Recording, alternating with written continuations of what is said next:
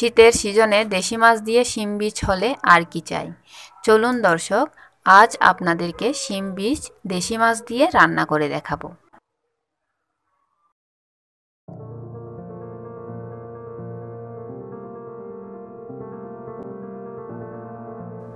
আসসালামু আলাইকুম। আশা করি সবাই অনেক ভালো আছেন।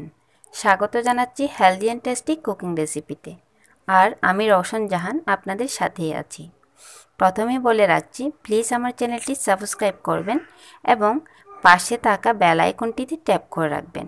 এতে করে আমি যদি কখনো নতুন কোনো ভিডিও আপলোড করি, তাহলে আপনারা সাথে সাথে পেয়ে যাবেন। আর যারা ইতিমধ্যে সাবস্ক্রাইব করেছেন, তাদেরকে অসংখ্য অসংখ্য ধন্যবাদ। আজ আপনাদের জন্য নিয়ে এসেছি শুল মাছ দিয়ে শিম বীজ রান্না করার রেসিপি আশা করি আপনাদের ভালো লাগবে। আমি এখানে তুলনামূলক ছোটো সাইজের কিছু শুল মাছ নিয়ে নিয়েছি। খুব ভালোভাবে পরিষ্কার করে ধুয়ে নিয়েছি। আপনারা চাইলে এখানে যে কোনো দেশি মাছ ব্যবহার করতে পারবেন। আরও নিয়ে নিয়েছি লাল মরিচের গুঁড়ো। আমি একটু বেশি করে নিয়েছি, দেড় টেবিল চামচ। আপনারা অবশ্যই আপনাদের স্বাদ অনুযায়ী দিয়ে দিবেন। ওয়ান স্পুন নিয়েছি হলুদের গুঁড়ো। লবণ নিয়েছি পরিমাণ মতো।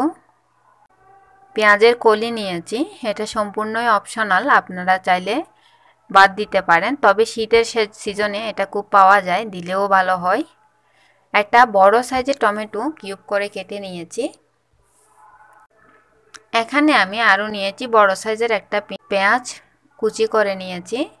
নিয়েছি তিন চারটে কাঁচামরিচ ফালি করে এবং নিয়েছি ধনিয়া পাতা। এখানে আমি শিম বীজ চিলে ধুয়ে নিয়েছি। এখন আমি মাছটা নিয়ে নিয়েছি। এতে দিয়ে দিচ্ছি একে একে সব মশলা, মরিচের গুঁড়ো, হলুদের গুঁড়ো, লবণ আর পেঁয়াজ কুচি থেকে অর্ধেকটা পেঁয়াজ কুচি আমি এখানে অ্যাড করছি। হাতে একটু মথে নিয়েছি। এখন সবগুলো উপকরণ মাছের সাথে মাখিয়ে নিচ্ছি। দর্শক, এখানে আমি অতিরিক্ত কোনো মশলা ব্যবহার করছি না, যেমন আদা, রসুন কিছুই ব্যবহার করছি না। এই রেসিপিটা আসলে এভাবেই অসম্ভব ধরনের টেস্ট হয়। এখন আমি সামান্য একটু পানি দিয়ে মশলাগুলোকে মাছের সাথে খুব ভালোভাবে মাখিয়ে নিচ্ছি। এখন আমি চুলায় একটা হাঁড়ি বসিয়ে দিয়েছি। তুলনামূলক বড় সাইজের হাঁড়ি ব্যবহার করছি। দিয়ে দিচ্ছি দেড় টেবিল স্পুন পরিমাণ সানফ্লাওয়ার অয়েল আপনারা চাইলে ভুজ্য যে কোনো তেল ব্যবহার করতে পারেন। তেলটা গরম হয়ে এলে পেঁয়াজ দিয়ে দিয়েছি এবং পেঁয়াজটাকে একটু ব্রাউন করে ভেজে নিচ্ছি।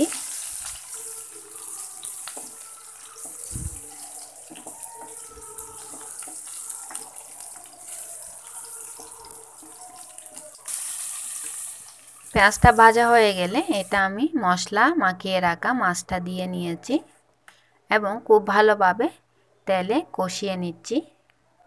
এতে এক্সট্রা আর কোনো পানি দেওয়ার দরকার নেই। এভাবে নাড়াচাড়া করতে করতে পানিটা শুকিয়ে তেলটা উপরে উঠে আসলে মাছটা কষানো একেবারে শেষ হয়ে যাবে। আমার মাছটা কষানো হয়ে গেলে এতে আমি পানি অ্যাড করছি।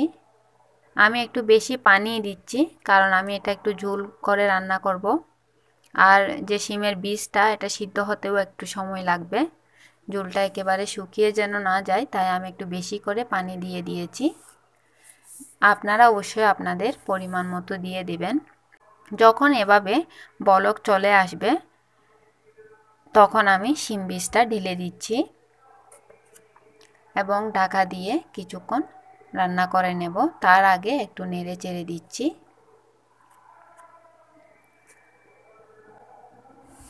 পাঁচ ছ মিনিট রান্না করার পর এতে আমি টমেটোটা অ্যাড করে দিচ্ছি। এতে টমেটোটা ভালো করে নরম হয়ে যাবে, শক্ত থেকে যাবে না এবং সবজির স্বাদটাও দ্বিগুণ বেড়ে যাবে। দেখুন আমার টমেটোটা নরম হয়ে গেছে, দেখে নিশ্চয় বুঝতে পারছেন। এখন আমি অ্যাড করে নিয়েছি পেঁয়াজের কলি আর কাঁচামরিচটা। আমি আজকের এই শিম বীজের সবজিটা একটু ঝাল করে রান্না করব। আপনারা চাইলে অবশ্যই আরও কমিয়ে দেবেন যদি ঝাল বেশি খেতে না চান। আমার রান্নাটা এখন একেবারে শেষ। এখন আমি ধনিয়া পাতা কুচি অ্যাড করে নিচ্ছি। দেখতে পাচ্ছেন এখানে অনেকটা ঝুল রয়েছে। এখন আমি একটা কাঠের সাহায্যে একটু দেখছি আমার বীজগুলা সিদ্ধ হয়েছে কিনা। হ্যাঁ আমার বীজগুলো একদম সিদ্ধ হয়ে গেছে। এর থেকে বেশি আমি সিদ্ধ করব না। যদি এর থেকে বেশি সিদ্ধ করা হয়, তাহলে বিচিগুলা ভেঙে গলে যেতে পারে। এতে কিন্তু খেতে খুব একটা ভালো লাগে না। এভাবে একটু আস্ত থাকলে আমার ভালো লাগে। বিচিটা আস্ত আছে, কিন্তু সিদ্ধ হয়ে গেছে। এখন আমি একটা বাটিতে তুলে নিয়েছি। দেখুন, এর কালারটা কত ভালো হয়েছে। খেতেও কিন্তু অসাধারণ হয়েছে। আশা করি আপনারাও একই রেসিপিতে রান্না করে ছেঁকে দেখবেন এবং কেমন হয়েছে আমাকে কমেন্ট বক্সে জানাবেন। আর যদি ভালো লেগে থাকে আপনাদের বন্ধুবান্ধব আত্মীয় স্বজনের কাছে আমার ভিডিওটি শেয়ার করে দেবেন। ছোট্ট একটা ক্লিক করে লাইক দিতে ভুলবেন না। আবারও এসে যাব অন্য কোনো রেসিপি নিয়ে। ততক্ষণ পর্যন্ত ভালো থাকুন, সুস্থ থাকুন, সুন্দর থাকুন এবং আমার জন্য অনেক অনেক দোয়া করুন। আল্লাহ হাফেজ।